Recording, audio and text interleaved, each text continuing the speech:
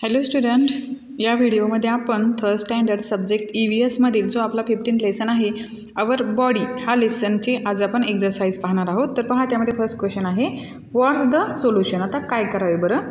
तर पहा your friend has forgotten to bring her spectacles how will you solve the difficulties she faces in the class आता तुमच्या मैत्रिणीचा चष्मा घरी विसरला आहे तर वर्गात तिच्या अडचणी सोडवायच्या आहे तर तुम्ही काय कराल बरं?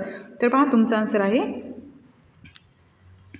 because my friend has forgotten her spectacles she may not see the writing on the board properly I shall read it out for her I will also help her to take down the home work questions from the board आता पहा मैत्रीण चष्मा घरी विसरून शाळेत असल्या आल्यामुळे तिला फळ्यावरचे व्यवस्थित दिसणार नाही आणि तिला यासाठी तुम्ही काय करायला पाहिजे? मदत करू शकता. आणि फळ्यावरचे वाचून दाखवून गृहपाठ उतरून घ्यायला तुम्ही काय करता? मदत करता.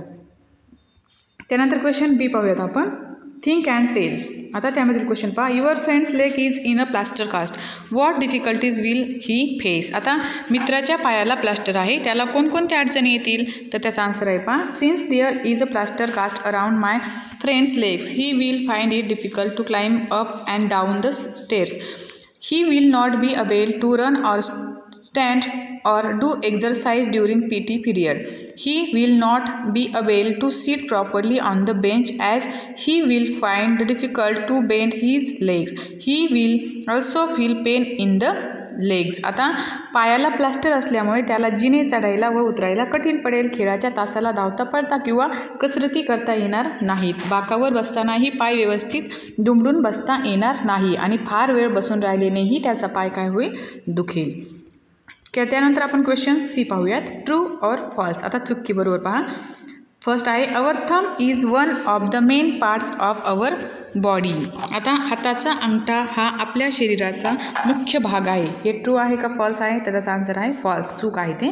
त्यानंतर सेकंड पहा. We can climb stairs with the help of our legs पायाच्या मदतीने आपण जिना चढू शकतो. ते कसं आहे? बरोबर आहे. ट्रू त्यानंतर थ्री पहा. The neck bends forward and backward आता मान पुढे झुकते मागे वागते. हे काय ट्रू आहे. बरोबर आहे. The torso can bend only at the waist आता हो, फोर नंबरचं पहा. जे आपलं टॉर्सो आहे धड फक्त कमरेपाशी वाकू शकते. हे काय आहे? ट्रू आहे.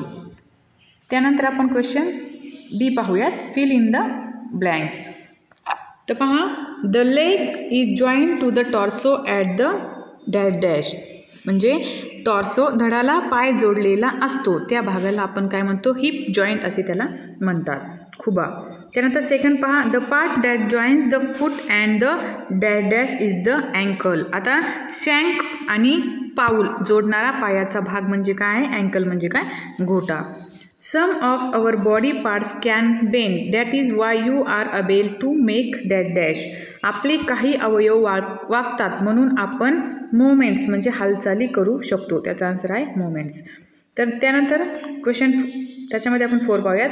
No two persons are exactly alike त्याचा आन्सर आहे अ लाईक म्हणजेच एका व्यक्तीसारखी दुसरी व्यक्ती दिसत नाही. हे झाल्या फिलिंग द ब्लँक्स त्यानंतर आपण क्वेश्चन ई e पाहूयात. Write the answer to following questions आता खाली जे क्वेश्चन आहे त्याचे आन्सर लिहायचे तुम्हाला पहा. फर्स्ट आहे which parts of the body from the torso शरीराचे कोणकोणते भाग मिळून जो आपला टॉर्सो म्हणजे धड बनते?